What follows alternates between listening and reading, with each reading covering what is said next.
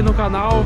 Hoje uh, é segunda-feira, estamos partindo para Córdoba, né, para a estreia do Inter uh, na Sul-Americana contra o Belgrano. Uh, uma curiosidade até já sobre Córdoba e o estádio que a gente vai partir, né? é o segundo, terceiro maior estádio da Argentina. o primeiro é o Monumental de Nunes e ele divide esse posto, provavelmente tem um dado um dado exato, mas uh, nas pesquisas que eu fiz ficava. Alguns diziam que era o segundo maior estádio, outros diziam que a Bomboneira é maior. Então fica essa dúvida aí. Uh, ou a Bomboneira é o segundo e o Mauro Alberto Camps terceiro, ou o inverso, né? De qualquer forma, é um estádio muito da hora. Tava dando uma olhada em imagens, enfim, então tô realmente animado em conhecer, poder também estar. Tá uh, fazendo mais essa cobertura para vocês. Claro, é um momento complicado, conturbado, né, nosso na temporada. Uh, infelizmente a gente vem agora de uma eliminação em casa, Juventude complicada, né? Tava a torcida bem empolgada uh, e eu me incluo nisso, né? Então realmente foi algo que pesou bastante, mas é uma dúvida que fica, né? A gente novamente volta a ter uma eliminação em mata-mata. Então isso realmente é bem complicado. É uma discussão também que eu inteiramente estou tendo bastante sobre... Porque teoricamente, uh, entrando no assunto já, né? A Sul-Americana seria o título mais acessível a partir de agora. Porque tem adversários difíceis, mas, pô, não podemos comparar o nível Uh, e não à toa, né? O futebol brasileiro está dominando as competições internacionais. Então, Copa do Brasil, a gente tem grandes rivais. Brasileirão também. O Brasil nem se fala, né? Que a gente uh, não ganha 44 anos e se não ganhar esse ano vai ir a 45. E a Sul-Americana tem Boca, tem uh, Cruzeiro, tem alguns times bons, mas eu acho que o Inter leva o favoritismo, mas pesa muito, né? No fato de a gente estar tá sendo eliminado muito em mata-mata, em quase todos os contextos possíveis. Uh, a gente entrando como favorito, a gente não entrando. E isso naturalmente era uma desconfiança muito grande. E cara, eu, na minha visão, tô indo viajar agora uh, ah, para esse primeiro jogo da Sula, mas eu realmente tenho essa desconfiança. Eu acho que o título que o Inter tem mais chance realmente de conquistar é o Brasileirão. Eu visualizo que a gente já tá com um próprio elenco e em mata-mata é, é, surreal o que, que acontece. Alguns jogadores somem. Então realmente eu acho que o Brasileirão ele permite uh, tu ter um dia ruim como foi o do Juventude e né, pelo menos na, tu ganhar na constância. Então acho que o caminho mais provável seria o Brasileirão. Obviamente, qualquer título que vinha a gente vai aceitar. Se o Inter for avançando na Sula, na Copa do Brasil, a gente vai apoiar, vai fazer a nossa parte, uh, vai acreditar. Mas uma opinião agora, de começo, para não pegar uma obra pronta, querer dizer eu avisei, depois é na frente. Uh, eu acho hoje que a nossa maior chance estaria no Brasileirão exatamente por esse motivo que eu falei. Uh, a gente tem um elenco muito, muito bom e eu acho que em termos de constância, de aproveitamento, uh, não à toa, o Inter foi eliminado com melhor campanha do Gauchão exatamente porque é um time bom, que, que pontua e Cara, a própria eliminação do Juventude, a gente ganhou do Juventude no primeiro turno com o time reserva, tá ligado? E aí pega um dia que uh, o Roger, enfim, amarrou meio campo do Inter, não houve alternativas e acaba tudo, né? E no Brasileirão tu consegue, uh, tem desses dois, obviamente, jogos chaves no Brasileirão, mas eu acho que tu consegue ali se recuperar às vezes de uns tropeços, então... É uma opinião minha, mas eu quero saber de vocês aí, pode comentar ao longo do vídeo que, que vocês acham. Eu sei que a maioria vai dizer que tem que ganhar qualquer uma, não importa. Beleza, mas eu tô trazendo uma discussão um pouco mais de argumento para também vocês poderem explanar o que, que vocês acham, enfim. Eu acho que mata-mata realmente uh, é difícil, porque, cara, é impossível não ter desconfiança com a quantidade de eliminação que a gente já teve de tudo que é forma, né, mano? Então, deixa esse assunto aí e gurizada tá almoçando aqui no, no parador. Vou mostrar ali pra vocês os preços, enfim, para vocês também uh, entender um pouquinho mais, né, como funciona. Depois a gente segue viagem.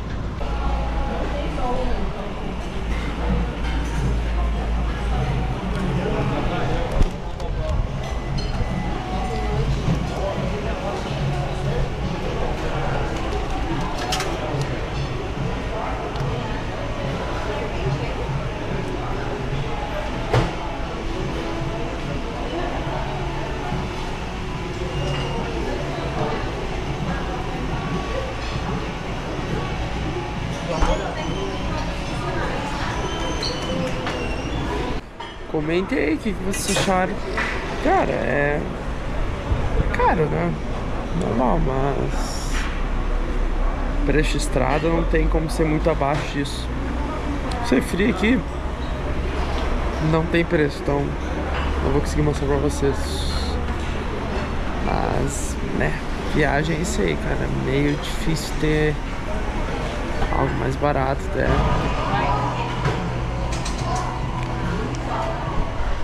Dentro. Dentro. Não, não, vai embora. Banheiro, banheiro. É fantástico.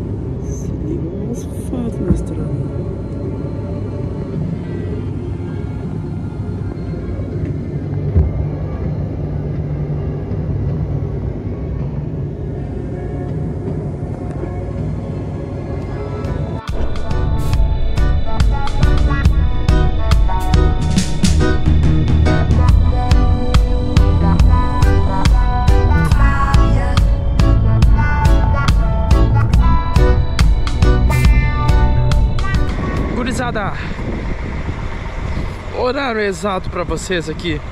9 e meia uh, Descemos aqui no posto que tem uh, Antes de Uruguaiana, né?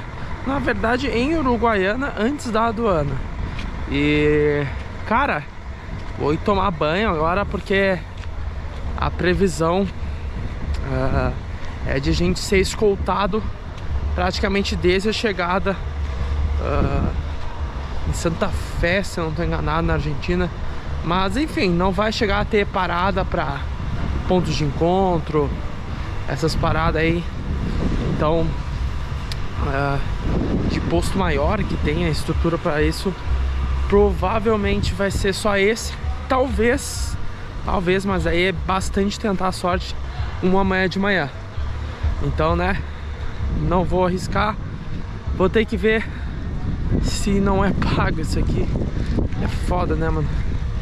Mas se tiver que pagar, o cara vai ter que pagar, né, mano? Porque daí ficar, pô, três dias quase sem banho é embaçado. Eu sei que tem maluco aí que, que fica, hein? Mas se o cara tem oportunidade, pô, trouxe toalha, trouxe bagulho, porra, toma banho, né, caralho? Vamos ver aqui, tô chegando aqui, vamos ver qual vai ser.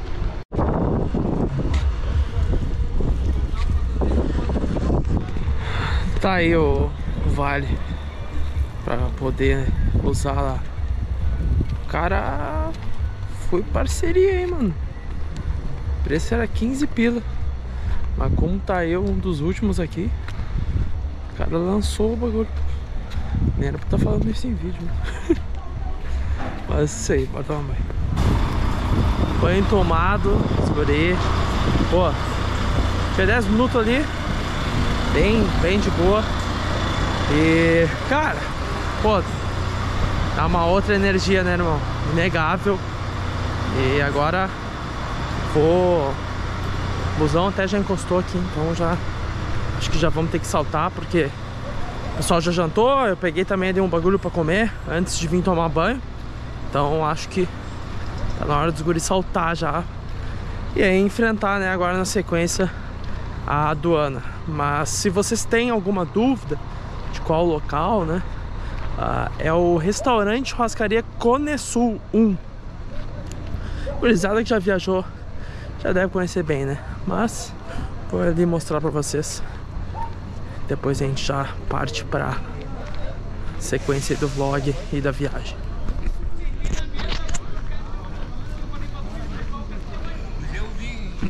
Nós somos da Alegrete a Belo Horizonte, meses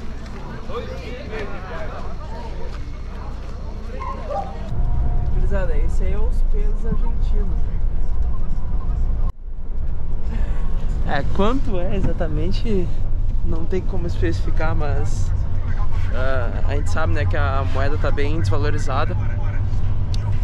Mas a gurizada trocou aqui no parador. E é isso aí, vamos partir agora pra aduana.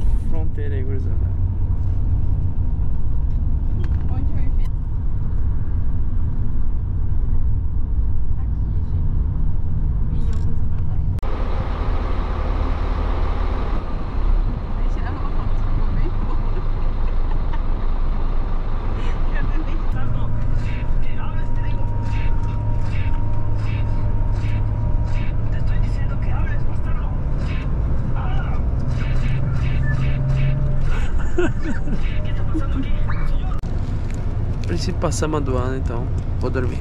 Até amanhã.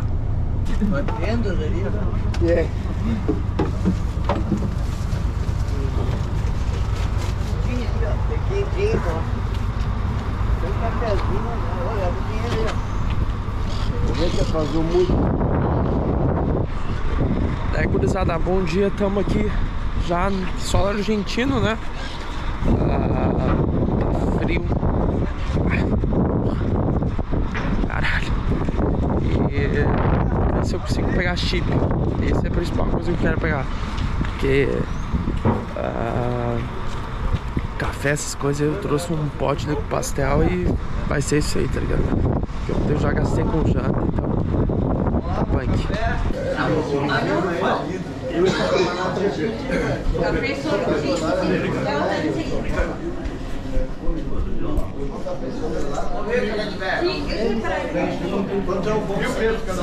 O cafezinho do guri, a maioria vai ser aí. É, gurizada, não rolou pegar o chip.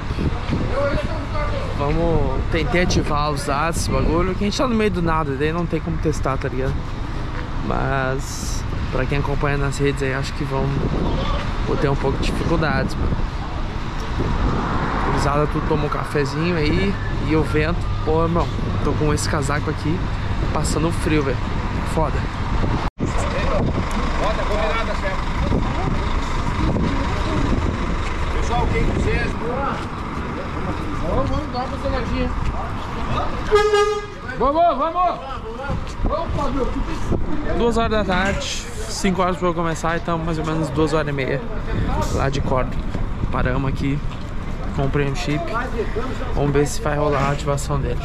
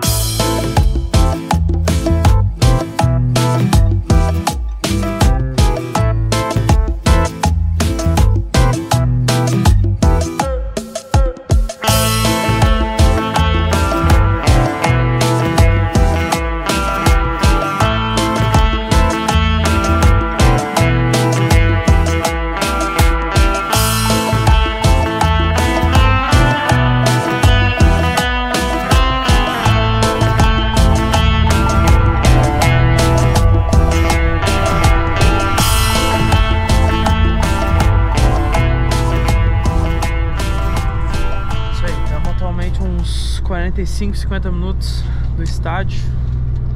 E se seguir essa programação a gente chega a tempo. Se a gente tiver algum algum problema de trânsito, vai ficar apertado, tá ligado? Mas previsão daí é pra chegar às 5h40, eu olhei lá embaixo. Então daria 1 hora e 20, né? Então, tamo tranquilo ainda. Vamos ver se segue assim. Eu tô, acho que desde as 7 da manhã, vendo isso aqui que vocês estão enxergando. Mato. Mato. Sério mesmo. Não é, não é forçar.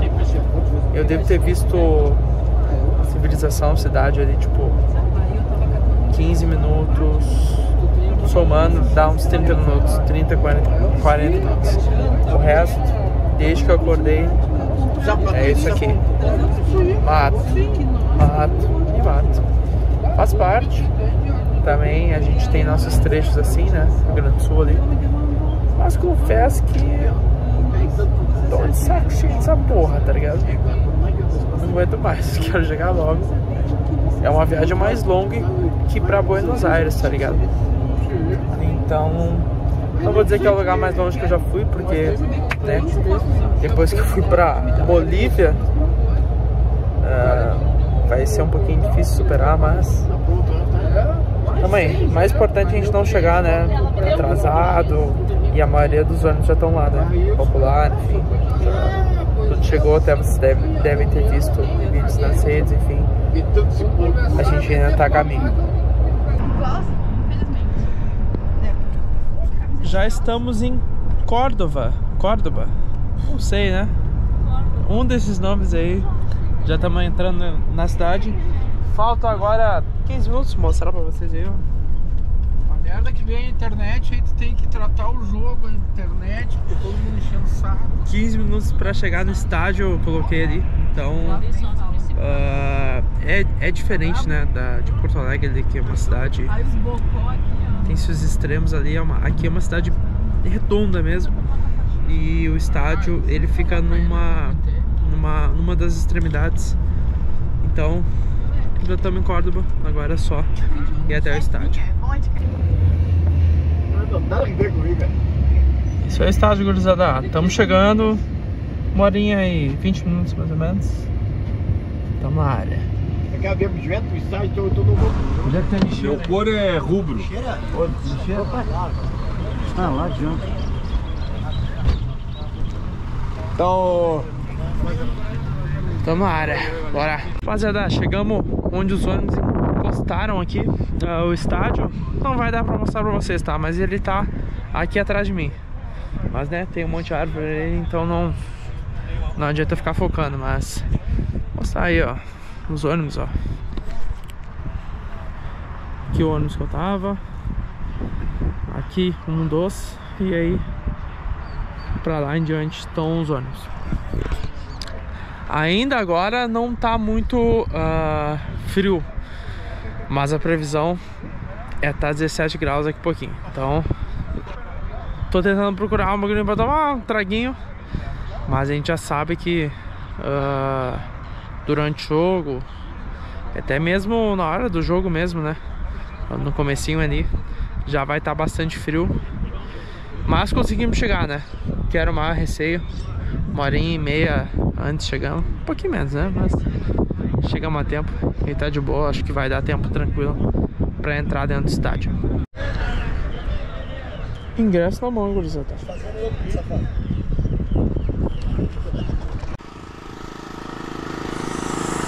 Liga, gurizada. Muito da hora poder estar aqui. E, pô, o Inter. ah, o, o jogo foi transferido pra cá, né? E é, é da hora pra caralho o cara tá podendo viver e, e levando pra vocês essas experiências que na Argentina, mano, essa viagem era maior que pra Buenos Aires, tá ligado? Então pra cá é a maior viagem que eu tô fazendo e da hora mesmo, estádio bonito, raiz, né? Conforme muita gente gosta de falar e é isso aí.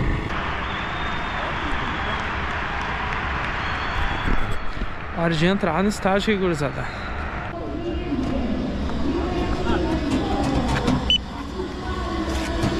Então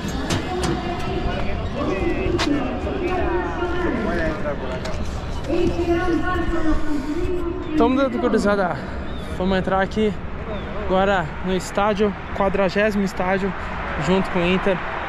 E, cara, que bagulho foda, mano. Que bagulho foda. Vou mostrar pra vocês aí.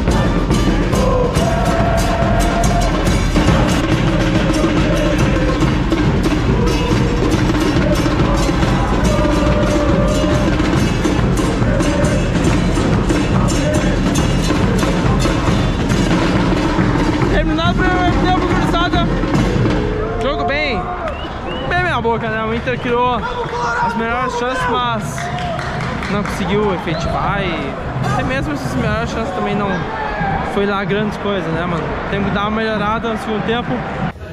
Ó, gurizada. Intervalo de jogo. E aqui também tem jogo do Tigrinho. Um bagulho curioso, ó. Os banheiros fica numa parte separada do estádio. ó. Estádio tá aqui, a gente tá nessa parte aqui. Bonito, né? Bonito esse estádio. Mas é um bagulho bem separado. E tá bem cheio, né? Também a questão de ser feriado aqui. Ah, homenagem, enfim, lembrança a Guerra das Malvinas lá. Então o estádio tá bem cheio, só não tá ocupado 100% a parte social deles, vamos dizer. Coração gigante. Pagurizado aí que vai no beira, tá ligado o que eu tô falando. Mas tá bem cheio, tirando essa parte que é nossa direita. De resto o estádio tá completamente cheio na real.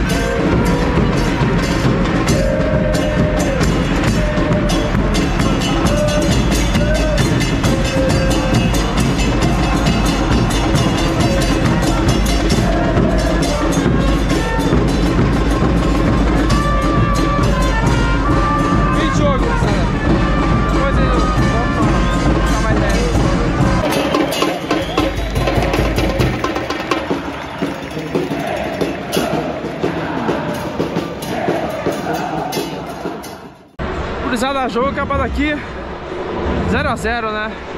Ah, resultado que, em termos de tabela, não é ruim, mas para nossa expectativa é um resultado ruim, né? Vamos ser sinceros, a gente esperava mais do Inter hoje. Ah, faltou, faltou, tá ligado? Isso que é o melhor resumo que dá pra fazer, é que faltou esse time do Inter hoje, tá ligado?